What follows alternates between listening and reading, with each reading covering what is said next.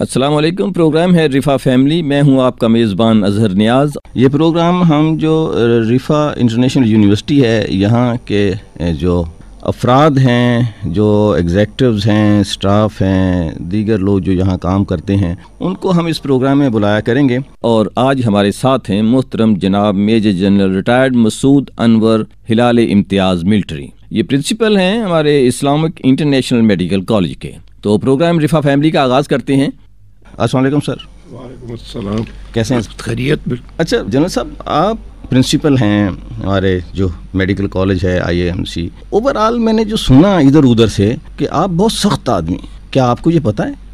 میرا خیال ہے مجھ کو پتہ ہے اور اچھی طرح پتہ ہے۔ لیکن یہ ایک جن لوگوں سے آپ نے یہ سنا ہے کہ میں بہت سخت آدمی ہوں جی۔ تو ان کو جو لوگ کیریئر میں اب اپنے کافی آگے جا چکے ہیں اگر آپ ان سے دوبارہ یہی سوال کریں گے تو وہ میری سختی کو آپ محسوس کرتے ہیں کہ میری سختی کا ان کا کیریئر بنانے میں بہت بڑا ہاتھ تھا اچھا جی۔ تو اسی کوئی نہ کوئی وجہ ہوتی ہے سختی کی پیچھے وجہ صرف اتنی ہے کہ میں اس بات میں بلیو کرتا ہوں کہ جو کام آدمی کرے وہ ٹھیک سے کرے۔ اچھا جی۔ اور کام میں میں کسی قسم کی سستی برداشت نہیں کرتا۔ جس کا جو کام ہے وہ خود کرے۔ اچھا اور اس کو ٹھیک سے کرے۔ اور اگر اس کو نہیں سمجھ میں آتا تو وہ ضرور پوچھے مشورہ کرے لیکن اس میں سستی مجھ سے برداشت نہیں ہوتی۔ تو لوگ تو سر ڈرتے ہیں آپ سے مشورہ کرنے نہیں آتے ہوں گے۔ نہیں ایسی کوئی بات نہیں ہے۔ میرا خیال میں کہ اکثریت جو میرے جاننے والوں کی ہے وہ اس کے باوجود کہ وہ جانتے ہیں کہ میرا مزاج کافی سخت ہے اس کے باوجود بھی وہ میرے پاس آتے ہیں۔ اچھا جی۔ اور یہ گھر میں بھی کچھ ایسا ہی ہے؟ مطلب آپ یا بچے سہمے ہوئے بیوی بن کہیں جنرل صاحب آ گھر میں اور باہر کے ماحول میں تھوڑا سا فرق ہوتا ہے۔ فرق یہ ہوتا ہے کہ گھر میں دونوں چیزیں بیک وقت ساتھ چل رہی ہوتی ہے سختی بھی اور پیار محبت بھی۔ جی۔ تو اس میں ایک بیلنس رکھنا کافی آسان ہوتا ہے۔ باہر کے ماحول میں دو قسم کے لوگوں سے میرا واسطہ رہتا ہے ایک وہ جو میرے شاگرد ہیں اور دوسرے وہ جو میرے سب آرڈینیٹس ہیں۔ جہاں تک شاگردوں کا تعلق ہے ان کے ساتھ میرا وہی سلوک ہوتا ہے جو میرا اپنے بچوں کے ساتھ ہوتا ہے۔ اچھا جی۔ اور سختی کے وقت میں ان کے ساتھ سختی کرتا ہوں۔ جب پیار کی باری آتی ہے تو پیار بھی کرتا ہوں۔ جب ان کی مشکلات ہوتی ہیں ان کو بھی دور کرنے کی کوشش کرتا ہوں اور ان کے ساتھ کھڑا ہوا ہوتا ہوں۔ سب آرڈینیٹس کا ذرا معاملہ تھوڑا سا اس لیے مختلف ہو جاتا ہے کہ کرتا ان کے ساتھ بھی میں یہی کچھ ہوں جو شاگردوں کے ساتھ کرتا ہوں۔ جی۔ لیکن شاید وہ اس بات کو جو دوسرا پہلو ہے اس کو محسوس نہیں کرتے۔ اور پہلے پہلو پہ جو ہے وہ سختی والے پہ زیادہ توجہ دیتے ہیں۔ وہ دوائی کی طرح کہ فوری تو کڑوی جی ہاں، لگتی ہے۔ ہاں۔ لیکن بعد میں اس کے اثرات جو ہیں وہ ٹھیک جی۔ بالکل۔ اچھا آپ کے جو اصول ہیں مینجمنٹ کے کیا یہی اسی سے آپ نکالیں گے جو سمجھ لیں کہ آپ جو ایز اے مینیجر بھی کام کرتے ہیں آپ ایک ادارے کو چلاتے ہیں اس ساری چیزیں ہوتی ہیں تو آپ سمجھ رہے ہیں کہ یہ آپ کے جو طریقہ کار ہے اس کو ریپلیکیٹ کیا جا سکتا ہے؟ دوسروں کے لیے بھی یہ کچھ مشل راہ ہو سکتا ہے کہ کسی بھی ادارے کو چلانے کے لیے یہ کرنا چاہیے کیا کرنا چاہیے؟ جہاں تک میں نے اب اتنے سارے اداروں کو مینیج کیا ہے فوج کے چار بڑے اداروں کو مینیج کیا ہے سول کے دو بڑے اداروں کو مینیج کیا ہے ابھی پرائیویٹ سیکٹر میں ہوں۔ جی سر۔ مجھ کو تو میرے جو اصول ہیں انہوں نے ہمیشہ فائدہ ہی پہنچایا نقصان نہیں پہنچایا۔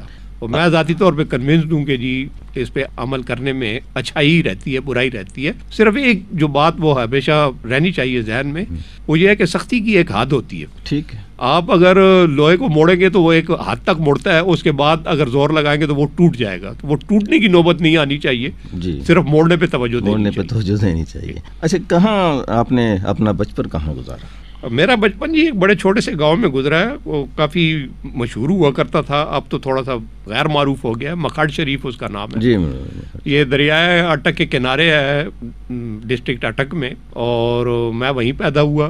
میری تھوڑی سی ابتدائی تعلیم جو ہے وہ کراچی کی ہے کیونکہ میرے والدین اس وقت کراچی چلے گئے تھے۔ تو وہاں اس کے بعد پھر میں واپس گاؤں آ گیا۔ پھر بیچ میں ایک سال کے لیے میری تعلیم پھر کراچی کی ہے۔ اس کے بعد پھر میں گاؤں آ گیا اور پھر مڈل میں میں پشاور شفٹ ہو گیا۔ اس کے بعد پھر ساری میری تعلیم پشاور کی ہے۔ والد صاحب آپ کے کیا؟ والد صاحب میرے بیسیکلی تو میں پراچا فیملی سے تعلق رکھتا ہوں اور زیادہ تر لوگ وہ تاجر پیشہ ہیں۔ اچھا وہ جی۔ بھی تاجر ہی تھے تجارت اچھا، کرتے اچھا۔ تھے۔ اچھا کبھی بچپن میں ایسی آنکھیں بند کر کے سوچیں مکھاڑی شریف کو تو آپ کے زمانے میں وہ گاؤں کیسا تھا؟ گاؤں اب بھی ویسا ہی ہے جیسا اس وقت بھی تھا۔ اچھا کوئی فرق نہیں پڑا۔ کوئی مطلب اتنا زیادہ فرق نہیں آیا سوائے اس کے کہ کچھ چیزیں زیادہ ہو گئی ہمارے۔ زمانے میں مڈل اسکول تھا اب وہاں ہائی اسکول ہے کالج بھی بن رہا ہے۔ اسی طرح لڑکیوں کا ایک بہت چھوٹا سا اسکول ہوتا تھا۔ اب دو تین اسکول ہو گئے ہیں۔ تو اس لحاظ سے تو تھوڑی بہت ترقی ہوئی ہے لیکن وہ مجموعی طور پہ یہ ڈسٹرکٹ جو ہے اٹک میرے خیال میں آپ بہت کم لوگوں کو اس بات کا احساس ہوگا کہ یہ بہت ہی پسماندہ علاقہ ہے۔ اچھا جی۔ انتہائی پسماندہ علاقہ ہے اور اس کو جان بوجھ کے پسماندہ رکھا گیا ہے فار ویری سمپل ریزن کہ بہت سی یہاں سے فوج میں جو بھرتیاں ہوتی ہیں وہ اسی ڈسٹرکٹ سے ہوتی ہیں پنجاب کے۔ اچھا جی۔ میکسیمم میں یہ سمجھتا ہوں کہ یہ جان بوجھ کے انگریزوں نے رکھا تھا اور پھر ہم اس کو فالو اس کو فالو کرتے آ رہے ہیں۔ تو ابھی تک اس کی صورت حال یہی ہے کہ جی اگر آپ راول پنڈی سے نکلیں تو آپ کو میاں والی تک پہنچ جائیں برانچ لائن پہ۔ تو آپ کو مشکل سے کوئی ڈھنگ کا اسپتال ملے گا مشکل سے کوئی ڈھنگ کا ٹیچنگ انسٹیٹیوشن ملے گا کوئی ٹریننگ سینٹر نہیں ملے گا آپ کو۔ تو یہ چیزیں اس علاقے میں اسی طرح ہیں جس طرح تھی ٹھیک ہے وقت کے ساتھ سڑکیں بھی بن گئی ہیں بجلی بھی آ گئی ہے یہ سارے کام تو ہوئے ہیں لیکن لوگوں کی اپنی بھلائی کے لیے کوئی مجموعی طور پہ کام وہاں ابھی تک لیول پہ نہیں ہوا۔ کچھ این جی اوز ہیں جو اپنے اپنے لیول پہ کام کر رہی ہیں ایک تو ہماری اپنی ہے جی۔ ایسوسیشن وہ کافی کام کرتی ہے وہاں پہ۔ پھر یہ میاں والی کے لوگ ہیں عمران خان وہ کافی کام کر رہے ہیں اس طرح سے ہیں لیکن بہت کم۔ ابھی بھی۔ بارانی علاقہ ہے زراعت پہ ان لوگوں کا انحصار ہے اور ان کی ساری زراعت بارشوں پہ ڈیپینڈ کرتی اچھا کون سی فصلیں ہوتی ہیں وہاں؟ فصلیں وہاں جو بڑی بڑی فصلیں ہیں وہ گندم ہوتی ہے مونگ پھلی ہوتی ہے بعض علاقوں میں چنا ہوتا ہے اور سرسوں ہوتی ہے۔ کالج کون سے آپ نے ایم بی بی ایس جو ہے میں نے خیبر سے کی ہے ایم بی بی ایس۔ اچھا میری پہ مڈل کے بعد ساری تعلیم جو ہے وہ پشاور کی ہے۔ میں نے اسلامیہ کالج سے بی ایس سی کیا پھر اس کے بعد خیبر میڈیکل کالج سے ایم بی بی ایس کیا۔ اس کے بعد پھر میں کوئٹہ شفٹ ہو گیا۔ اس وقت تک میرے پیرنٹ جب میں تھا ایم بی بی ایس میں تو میرے پیرنٹ شفٹ ہو گئے تھے کوئٹہ۔ کاروبار کے سلسلے میں تو پھر میں بھی ایم بی بی ایس کے بعد کوئٹہ چلا گیا۔ وہاں پہ میں نے پھر بلان میڈیکل کالج میں نوکری کر لی۔ اور اگرچہ اس وقت مجھے تنخواہ بہت معقول ملتی تھی اس زمانے کے لحاظ سے لیکن وہاں کرنے کو کام کوئی نہیں۔ تھا۔ اور بچپن سے مجھے کچھ نہ کچھ کرنے کی ایک عادت سی رہی ہے۔ تو بہت سوچ بچار کے بعد بیچ میں میں نے کوشش کی باہر جانے کی ان دنوں میں ایران کا بڑا وہ ہوتا تھا چرچا ایران چلا گیا وہاں نوکری بھی مل گئی لیکن پھر وہ لوگوں کے ساتھ میرا مزاج ملتا نہیں تھا۔ میں واپس آ گیا۔ زبان یار تو کی۔ ہاں نہیں اس کے علاوہ وہ دوسروں کی نوکری کرنے میں ایک محکومیت کا جو وہ ہوتا ہے پہلو وہ بدرجہ آتم ان علاقوں میں موجود ہوتا ہے۔ وہ لوگ سمجھتے ہیں کہ جی ہم حاکم ہیں اور یہ ہمارے غلام ہیں۔ جی وہ تو وہ چیز ناقابل برداشت ہو جاتی ہے۔ اور واپس آ کے پھر بہت سوچ سمجھ کے میں نے یہ فیصلہ کیا کہ جی اس وقت موجودہ حالات میں فوج سے اچھی نوکری اور کوئی نہیں ہو سکتی۔ اوکے۔ یہ کون سے سن کی بات ہے؟ یہ بات ہے نائنٹین سیونٹی فائیو کی۔ سیونٹی تو اب 70 کالج میں آپ داخل ہوئے خیبر میں؟ میں نے کوالیفائی تو سیونٹی ٹو میں کیا تھا۔ 70 میں کیا تھا۔ تو سیونٹی ٹو میں کوالیفائی کرنے کے بعد پھر میں کوئٹہ میں کوئی ڈیڑھ ایک سال دو سال کام کرتا رہا۔ سیونٹی تھری میں میں کوئٹہ چلا گیا تھا۔ سیونٹی تھری سے سیونٹی فائیو تک میں کوئٹہ میں رہا۔ اور پھر میں سیونٹی فائیو میں فوج میں چلا گیا۔ اچھا فوج کا انتخاب کیوں کیا آپ نے؟ مطلب فوج میں اس وقت ایک ہمارے سر جنرل ہوتے تھے فوج میں جنرل سی کے حسن۔ جی۔ یہ وہ زمانہ تھا جب فوج میں ڈاکٹر نہیں جایا کرتے تھے پولیس پکڑ کے لے کے جایا کرتی تھی۔ اچھا جی۔ عموماً۔ تو ان سے میری ایک ملاقات ہوئی کوئٹہ میں ایک جگہ پہ ان کے ساتھ واسطہ پڑا۔ تو انہوں نے بتایا کہ جی فوج میں کیا کیا اپرچونیٹیز ہے تو مجھے وہ کوئی بہت زیادہ اچھی لگی۔ کہ اس میں آگے بڑھنے کی کافی اپرچونیٹیز ہیں۔ تو پھر میں نے سوچ کے یہی فیصلہ کیا کہ فوج میں جانا چاہیے اور الحمدللہ وہ اس وقت تو واقعی حالات بہت اچھے تھے۔ ابھی کچھ وقت کے ساتھ حالات میں تبدیلی آئی ہے۔ لیکن مجھے بہرحال اس بات پہ کوئی ریگریٹ نہیں ہے اور جو توقع میں لے کے گیا تھا میں نے فوج میں وہ سب کچھ مجھ کو ملا۔ اللہ کا فضل ہے نہیں آپ وہاں سے میجر جنرل جو ہے وہ ریٹائر ہوئے۔ حلال امتیاز آپ کو مٹی عطا کیا گیا۔ یہ کیا ایوارڈ کیا ہوتا ہے؟ حلال امتیاز ملٹری جو ہے یہ ان سینئر موسٹ میجر جنرلز کو ملتا ہے جن کی کارکردگی فوج میں ایک خاص معیار سے اوپر سمجھی جاتی ہے۔ اچھا جی۔ اوور آل ان کی پرفارمنس مطلب کسی کے اوپر۔ اچھا یہ فرمائیں یہاں آ گئے آپ انٹرنیشنل اس سے پہلے کن کن اداروں میں ایسا نہیں ہے۔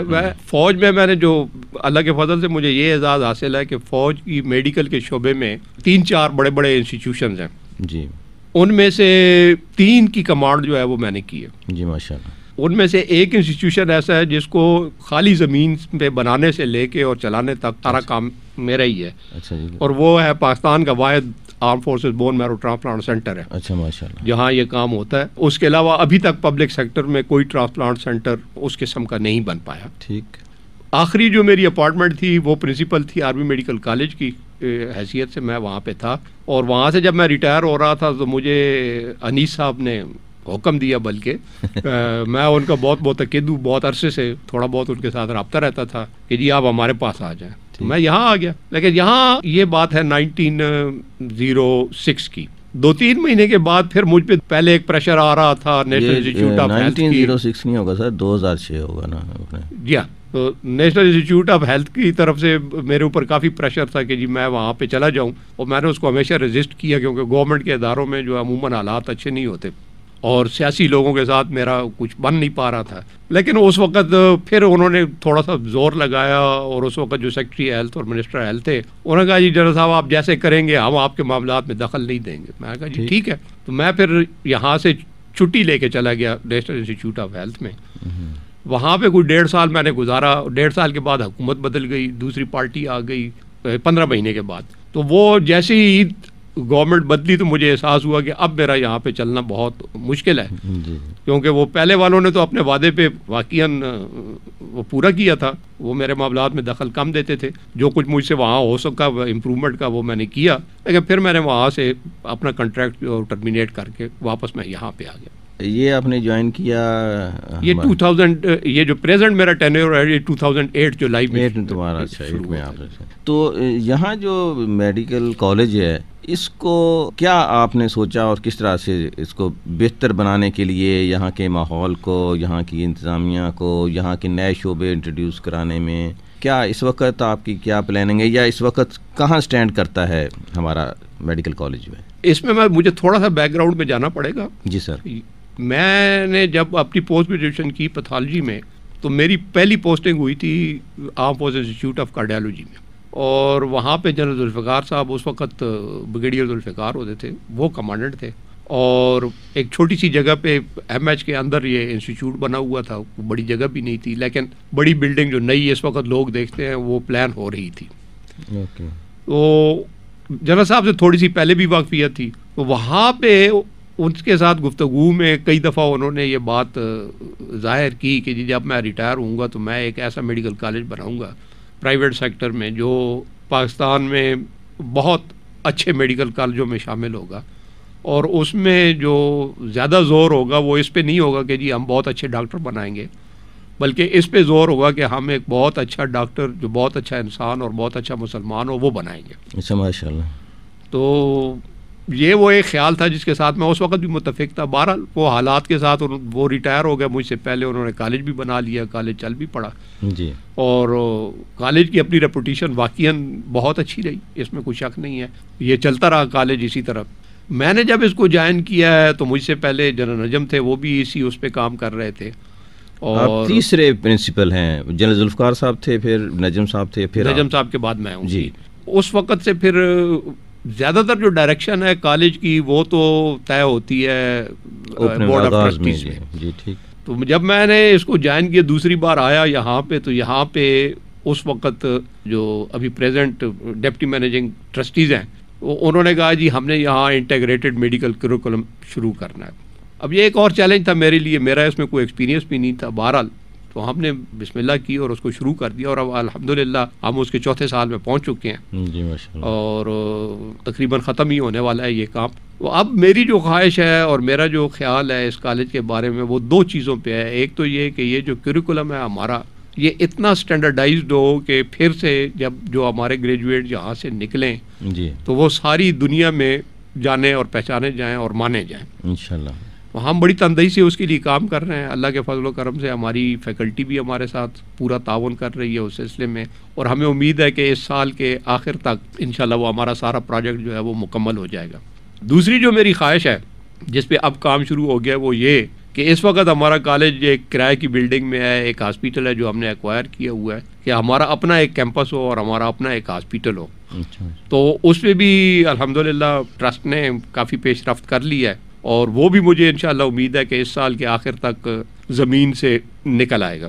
اچھا ماشاء اور ظاہر ہے کہ کسی انسٹیٹیوشن کو ڈیولپ ہونے میں ٹائم تو لگتا ہے دو چار سال اور لگیں گے۔ تو میں یہی چاہتا ہوں میری خواہش تو یہی ہے کہ جی اس کالج کا اپنا ایک مقام اور ایک نام ہو ساری دنیا میں ہو خالی پاکستان میں نہ ہو۔ اس کے جو اسٹینڈرڈز ہیں وہ مینٹین کیے جائیں اور ہم اسی پالیسی پہ کام کرتے ہیں۔ اچھا اس کے ایک تو پروفیشنل جیسے ابھی بات کی جنرل صاحب کی بھی خواہش تھی آپ بھی اسی پہ کام کر رہے ہیں کہ ایک ڈاکٹر ہو وہ اچھا مسلمان بھی ہو اچھا انسان بھی ہو تو اس کو کس طرح سے لے کے چلتے ہیں کریکولم میں اور باقی چیزوں میں؟ اس کے ہم نے دو یا تین طریقے ہیں جو ابھی ہم پریزنٹ کریکولم پہ چل رہے ہیں۔ ایک تو ہم اس میں یہ کام شروع کر رہے ہیں کہ جی اس میں ایکسپوجر میڈیکل اسٹوڈنٹس کا بہت شروع سے مریضوں کے ساتھ ہو ٹھیک۔ اور وہ کمیونٹی لیول سے ہو بجائے ہاسپٹل لیول کے۔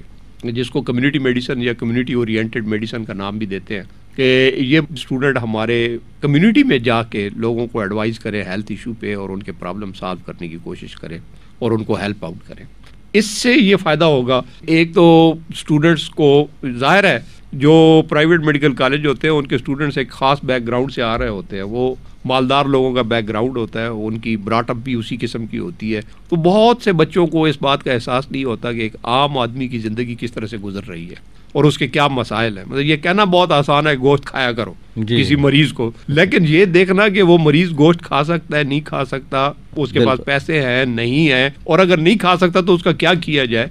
یہ ایشوز جو ہے وہ ان کی سمجھ میں نہیں آتے۔ ٹھیک. تو یا دوائی لکھ کے دے دینا بہت آسان کام ہے ڈاکٹر کتنے۔ کی آ رہی ہے؟ وہ دوائی کتنے کی آتی ہے وہ کدھر سے لے کے آئے گا کیا کرے گا؟ وہ ان کے لیے ایشو بہرحال رہتا ہے۔ تو اس میں جب کمیونٹی میں جائیں گے تو اس کا فائدہ یہ ہوگا کہ ان کو ان چیزوں کا ادراک ہو جائے گا کہ ہر فیملی کے اپنے مسائل ہوتے ہیں ان کی اپنی یعنی limitation بڑی ہوتی ہے ان کا بجٹ ہوتا ہے۔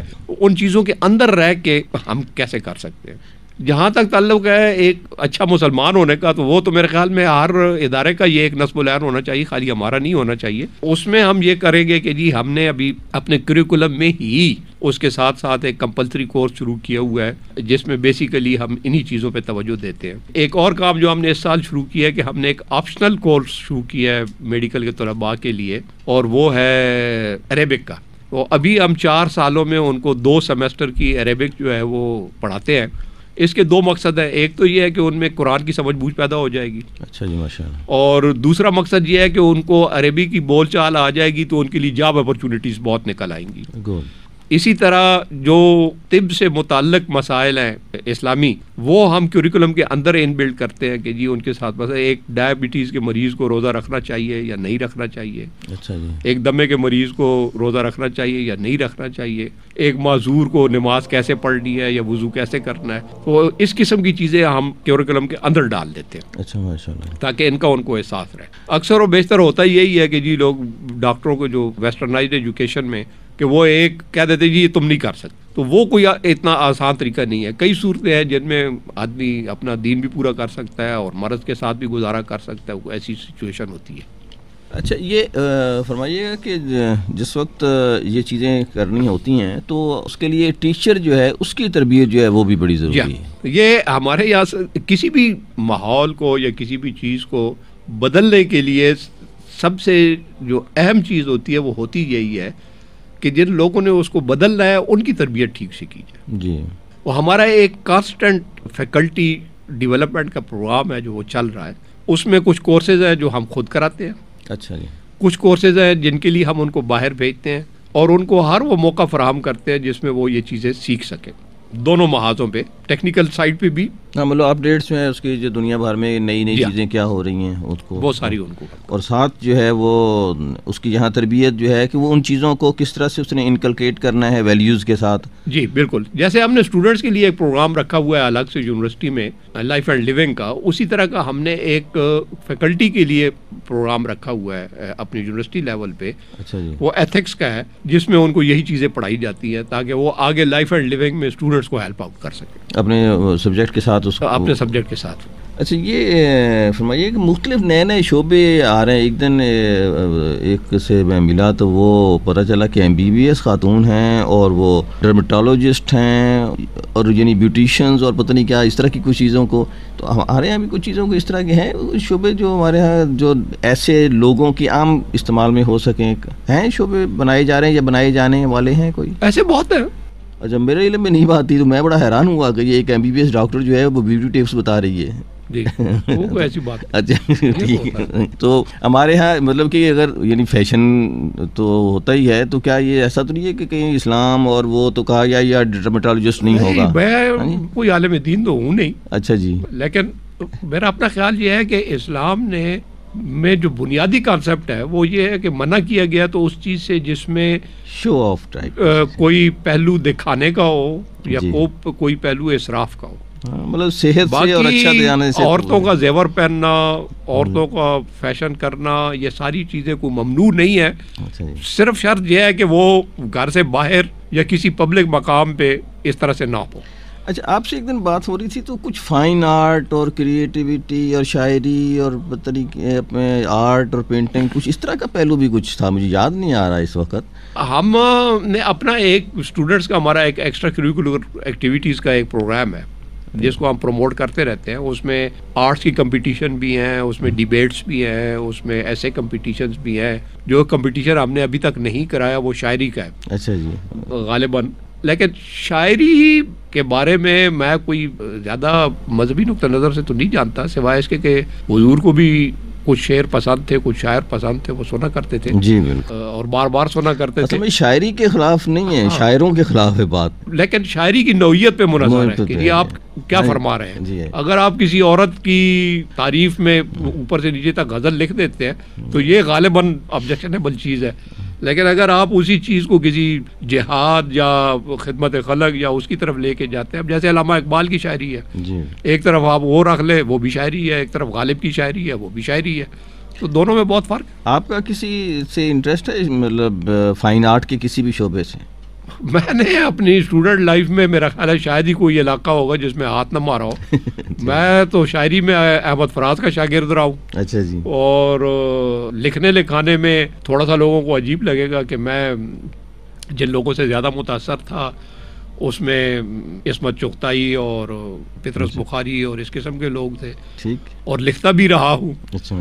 وہ یہ ہے کہ اس لکھنے کا ٹرینڈ اب بدل گیا اب میں صرف اپنی فیلڈ میں لکھتا ہوں اس سائڈ پہ نہیں لکھتا۔ اچھا یہ فرمائیے کہ جو ہماری یہ نئی نسل ہے اچھا ڈاکٹر تو بن رہی ہے، لیکن پاکستان کے حوالے سے جو چیزیں ہوتی ہیں، ان میں تھوڑا سا ہم سمجھ رہے ہوتے ہیں کہ نہیں۔ یعنی میں نے دیکھا ڈاکٹروں کو، جب ایف ایس سی میں ہوتے ہیں، تو وہ ان کے ہاں ڈاکٹر بنیں گے، تو انسانیت کی خدمت کریں گے۔ لیکن جو ہی ڈاکٹری میں داخلہ مل جاتا ہے، تو پھر تھوڑا سا کیونکہ پیسے خرچ ہو رہے ہیں تو جی تھوڑا پیسہ کمانا بھی چاہیے۔ پاکستان کے حوالے سے یعنی پڑھایا تو کال جاتا ہے ہمارے ہاں اسلامیات بھی پڑھائی جاتی ہے یا لائف اینڈ اسٹائل جو ہے اپنے نام دیا لیونگ کا وہ بھی پڑھایا جاتا ہے پاکستانیت بھی پڑھائی جاتی ہے۔ اس کو تھوڑا سا آپ اپنے اسٹوڈنٹس میں پاکستان کی اہمیت کو یا یہ جو بات آپ نے چھیڑی ہے نا یہ کافی گہرائی تک جاتی ہے۔ یہ کہانی شروع ہوتی ہے اپنے گھر سے۔ گھر کے ماحول سے شروع ہوتی ہے اور پھر کالج اور یونیورسٹی تک چلتی ہے۔ ٹھیک ہو گیا۔ اگر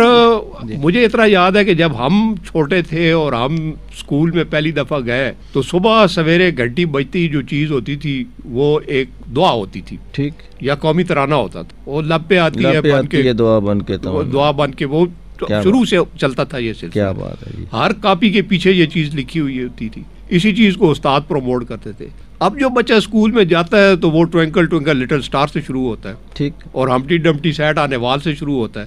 تو ایک اس چیز نے جو ہے وہ ہمیں تباہ و برباد کر دیا ہے کہ والدین اس بات کو سمجھنے سے کاسے رہے قطن کہ جی بچپن سے بچے کو کس اس پہ۔ لے کے جانا آپ اکثر دیکھتے ہوں گے کہ آج کل کے ماحول میں بچوں کو گانا ناچنا یہ بڑے آرام سے سکھایا جاتا ہے اور اس کو معشوب نہیں سمجھا جاتا۔ مزے کی بات یہ جی۔ وہی بچے جب بڑے ہو کے ناچنے لگتے ہیں تو پھر ماں باپ ڈنڈا لے کے پیچھے پھرتے ہیں کہ یہ تم کیا کر رہے ہو؟ یہ سب سے بڑا مسئلہ ہے۔ بھی سکھایا آپ نے خود تھا اب آپ بھگتو۔ ٹھیک۔ اس کے بعد جب اسکول میں آتے ہیں تو اسکول میں ایک اور سلسلہ شروع ہو گیا ہے کہ جی کیا چیز ضروری ہے؟ نمبر ضروری ہے۔ نمبر بہت سارے ہونے چاہیے۔ جی سو میں نوے نمبر آنے چاہیے۔ ٹھیک۔ ہمارے زمانے میں سارے پاکستان میں پانچ یا چھ میڈیکل کالج تھے۔ ٹھیک۔ فرنٹیئر میں ایک بورڈ ہوتا تھا۔ پنجاب میں دو بورڈ ہوتے تھے سندھ میں ایک بورڈ تھا اس طرح سے تھے۔ مجھے اچھی طرح یاد ہے سو سیٹیں ہوتی تھی ٹوٹل ایک ہی میڈیکل کالج تھا۔ لیکن اس میں F S C second division کے بھی داخلے کے امکانات نکل آیا کرتے تھے۔ مطلب فرسٹ ڈویژن اتنے تھوڑے ہوتے تھے۔ ٹھیک۔ اب جو لوگ داخلے کے لیے آتے ہیں کسی کے نوے فیصد پچانوے فیصد پچاسی فیصد سے کم نمبر نہیں ہوتے۔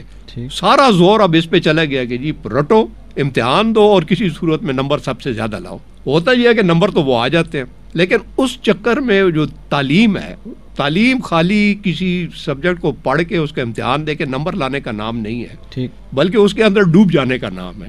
وہ ڈوبنے والی بات نہیں پیدا ہو رہی نہ والدین میں ہو رہی ہے نہ استادوں میں۔ استادوں کے ساتھ ٹریجڈی یہ ہوئی کہ جی ہر انسان کو اپنی ضروریات تو پوری کرنی ہے۔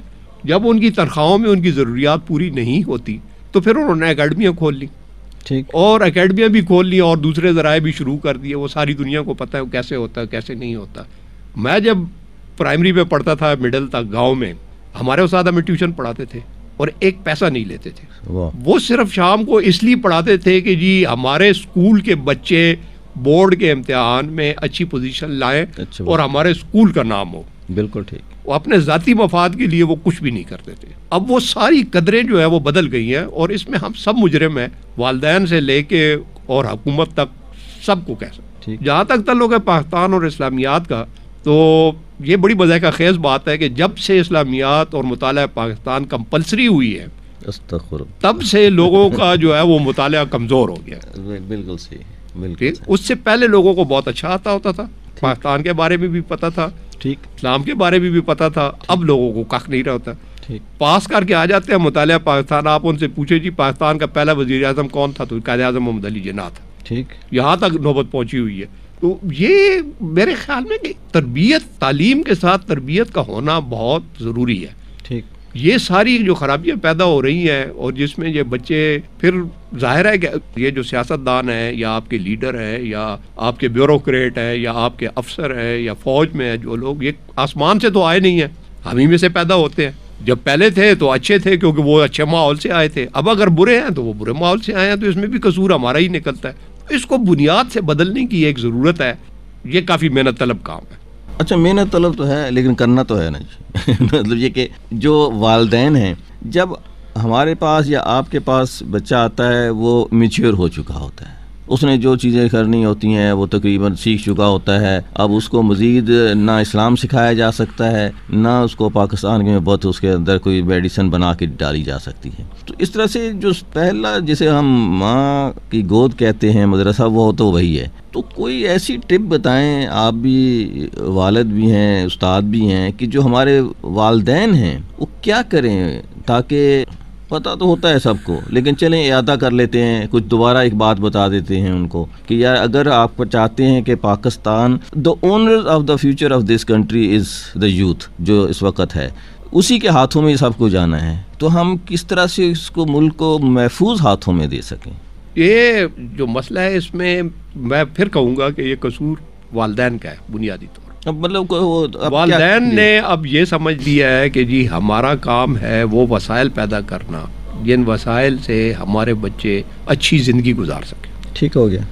اور ساری ان کی توجہ اسی پہ ہے۔ وہ صبح دس بجے آٹھ بجے نو بجے گھر سے نکلتے ہیں رات کو نو دس بجے آتے ہیں۔ اتوار کو بھی دکان پہ ہوتے ہیں دفتر پہ ہوتے ہیں کہیں کام پہ ہوتے ہیں۔ ٹھیک۔ نہ وہ بچوں کو وقت دیتے ہیں نہ وہ بچوں کے ساتھ بیٹھتے ہیں نہ بچوں کی تربیت کرتے ہیں نہ بچوں سے کچھ سنتے ہیں نہ بچوں کو کچھ بتاتے ہیں۔ اور ان کا خیال یہ ہے کہ یہ سارے کام اسکول کر رہا ہے۔ اسکول جو ہے وہ سارے کمرشلائز ہو گئے۔ ان کو بھی اس سے کوئی غرض نہیں ہے کہ جی بچہ کیا بنتا ہے یا کیا نہیں بنتا۔ ان کو اسی سے غرض ہے کہ جو میں پڑھا رہا ہوں وہ بہت اچھا ہونا چاہیے اور اس میں اس کے نمبر بڑے اچھے آنے چاہیے۔ اس کو بدلنے کی ضرورت ہے۔ ہمارا سب سے بڑا مسئلہ یہی ہے کہ جب میڈیکل کالج میں بچہ پہنچتا ہے تو وہ اٹھارہ سال کی عمر کا ہوتا ہے۔ ٹھیک۔ اب وہ جو کچھ اس نے سیکھنا تھا وہ تو سیکھ چکا۔ اس کو بدلنا جو ہے وہ بڑا مشکل ہے۔ آپ دیکھتے ہوں گے ہمارے یہاں کہ ہمارے کالج میں اللہ کے فضل و کرم سے ایک چیز جو ہے وہ جو ضروری ہے وہ یہ ہے کہ جتنی بھی بچی ہیں انہوں نے یا اسکارف پہننا ہے یا دوپٹہ اچھی طرح اوڑھنا ہے۔ جی بالکل۔ اب یہ بڑا چھوٹا سا کام ہے لیکن یہ کرانے میں بھی ہمیں کافی محنت کرنی پڑتی۔ اس میں پڑتی محنت اس کے بعد وہ کیا کرتی ہیں کیا نہیں کرتی۔ وہ ایک الگ موضوع ہے۔ لیکن میرا خیال ہے کہ اس ملک کو بدلنے کے لیے سب سے ضروری جو چیز ہے کہ لوگ اپنے آپ کو بدلیں۔ سر لوگ ہم کسی کا لوگ کہہ رہے ہیں؟ مطلب والدین ہم تو دیکھیں ایک ٹرائی اینگل میں پھنسے ہوئے ہیں۔ والدین ہیں بچے ہیں استاد ہیں۔ اور ایک معاشرہ ہے جس میں جا کے اس نے دھکا اگر والدین اپنے آپ کو بدل لینا تو جی۔ ساری چیزیں ٹھیک ٹھیک۔ تو ایک تو ہم آج کا مشورہ یہ ہو گیا جی آپ کا کہ والدین جو ہیں وہ والدین کو اپنے بچوں پہ توجہ دینی پڑے بچوں کو توجہ دیں ایک عربی کہاوت مجھے یاد آ رہی ہے اکثر میں کوٹ کرتا رہتا ہوں یہاں کے یتیم وہ نہیں ہے جس کے ماں باپ فوت ہو چکے ہوں بلکہ یتیم وہ ہے جس کے ماں باپ کے پاس اپنے بچوں کے لیے وقت نہ ہو۔ وقت نہیں ہے بالکل تو اس طرح سے ایک جو یتیم قوم ہمارے ہاں بڑھتی جا رہی ہے ایسی جس کے والدین کے پاس۔ نمبر ون تو آپ کا ایک مشورہ ہوگا جی کہ ان کو وقت دینا چاہیے اپنے بچوں کو۔ اور اس کے۔ دوسرا استاد کے لیے مشورہ ہے not medical college from A to Z نیچے بچپن سے لے کر اب تک جو پروفیشنل لیول تک استاد ہیں ان کے لیے کوئی ایک مشورہ؟ ان کے لیے بھی یہی ہے کہ وہ کو وہ بچوں کو شاگرد سے زیادہ اولاد سمجھیں۔ ٹھیک۔ جب وہ اولاد سمجھیں گے تو وہ پھر والدین کی کیٹیگری میں خود بخود موو ہو جائیں گے۔ ٹھیک ہو گیا اسی کیٹیگری میں موو ہو جائیں گے جس میں وہ اپنے بچوں کے ساتھ کرتے ہیں اسی طرح اپنے شاگردوں کے ساتھ بھی کریں گے۔ میں آپ کو ایک چھوٹا سا واقعہ بتاتا ہوں وقت تو لگے گا۔ میرے ایک پرائمری کے استاد ہیں خاکی جان صاحب وہ ابھی بھی حیات ہیں اور یہاں پنڈی میں ہی ہیں۔ اچھا جی۔ تو میں اور میرا چھوٹا بیٹا تھا سات آٹھ سال اس کی عمر تھی تو ہم ایک دن صدر میں جا رہے تھے تو وہ مجھے سامنے سے مل گئے۔ ٹھیک۔ ہم نے ایک دوسرے سے ملاقات کی سلام دعا کیا اور انہوں نے مجھ سے میرا حال پوچھا میرے باپ کا حال پوچھا میرے بھائی کا حال پوچھا میری ماں کا پوچھا سارے خاندان کا پوچھا کیا کہنے؟ گاؤں کا پوچھا۔ تو جب وہ چلا گیا تو میرے بیٹے نے پوچھا کہ ابو یہ کون تھے؟ میں کہا یہ میرے استاد تھے مجھے چھٹی ساتویں میں پڑھاتے تھے۔ کہتے کمال ہے ابو یہ آپ کو اتنا جانتے؟ تو میں نے اس کو یہی کہا میں نے کہا بیٹا یہ میرے استاد تھے اور میں ان کا شاگرد تمہارے استاد نہیں تھے۔ مجھے بڑا فرق ہے۔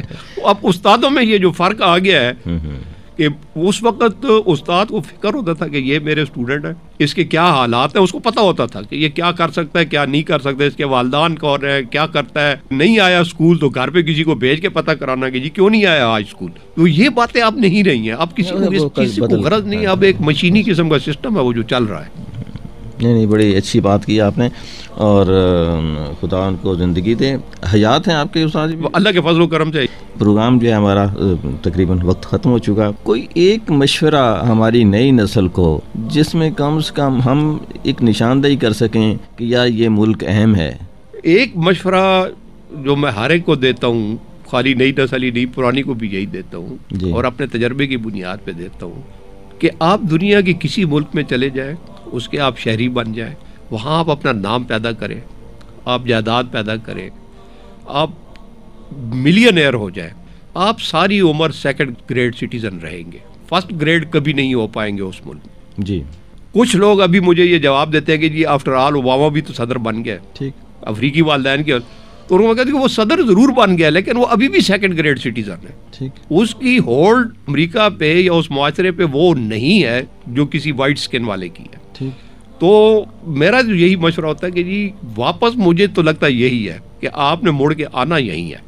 ٹھیک۔ آج آتے ہیں آپ کی اولاد آتی ہے کل آتے ہیں دنیا بڑی تیزی سے شرنک کرتی چلی جا رہی ہے۔ ہر ملک کو اپنے اپنے مسائل کا سامنا ہے۔ بے روزگاری بڑھتی جا رہی ہے ساری دنیا میں۔ وہ دوسروں کو کدھر برداشت کریں گے؟ انگلینڈ کی مثال آپ کے سامنے ہے باقی جگہوں کی آپ کے سامنے ہے۔ تو وہ صورت حال نہیں ہوگی اس بات کو ریئلائز کر رہے ہیں۔ بہت شکریہ جی۔ پروگرام تھا رفا فیملی اور آج ہمارے ساتھ تھے۔ محترم جناب major general retire Masood Anwar, Hilal Imtiaz military. اپنے میزبان اظہر نیاز کو اجازت دیجیے اللہ حافظ۔ بہت شکریہ ڈاکٹر صاحب۔ شکریہ۔